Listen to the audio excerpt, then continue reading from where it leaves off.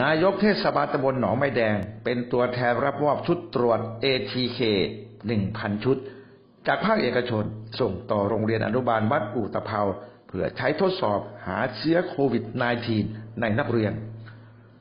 ที่ลานอเนกประสงค์โรงเรียนอนุบาลวัดอู่ตะเภาหมู่ที่ 6ตำบลหนองไม้แดง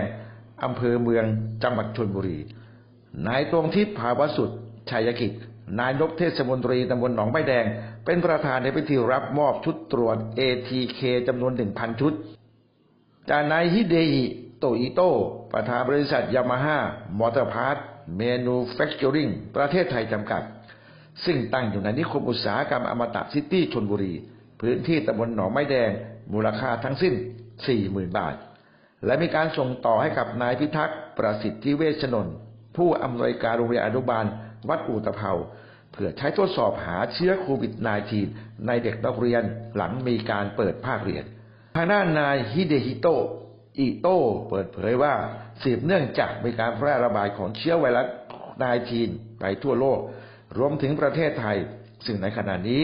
ส่งผลให้มีประชาชนเจ็บป่วยเป็นจำนวนมาก และมีประชาชนบางส่วนมีอาการป่วยจนถึงขั้นเสียชีวิตจึงมีความจำเป็นต้องหาวิธีการตรวจสอบการติดเชื้อโควิด -19 ซึ่งในฐานะภาคเอกชนคำนึงถึงความปลอดภัยในชีวิตของประชาชน รวมถึงกลุ่มนักเรียนในชุมชนหนองไม้แดง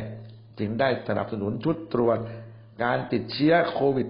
-19 หรือที่เรียกกันว่า ATK ที่สามารถทดสอบได้ในเบื้องต้นให้กับนักเรียน โรงเรียนอนุบาลวัดอู่ตะเภาที่มีการเรียนการสอนตั้งแต่อนุบาลจนถึงชั้นประถมศึกษาปีที่ 6 มีนักเรียนทั้งสิ้น 1,238 คน ได้ใช้ตรวจสอบการติดเชื้อโควิด -19 ซึ่งเป็นมาตรการหนึ่งในการป้องกันการแพร่ระบาดของโรคติดต่อโควิด -19 ในหมู่นักเรียนและครอบครัวของนักเรียนต่อไป News 24นิราทิพศรีรายงาน